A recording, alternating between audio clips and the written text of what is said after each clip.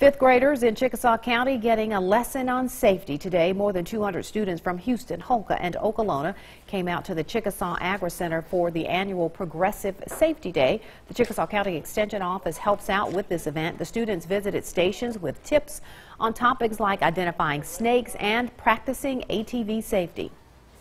We cover 10 different areas with them today that they can take home and, and learn from, or they can share with their parents or their siblings. We want them to, to share and, and let everybody know what they learned mm-hmm. today.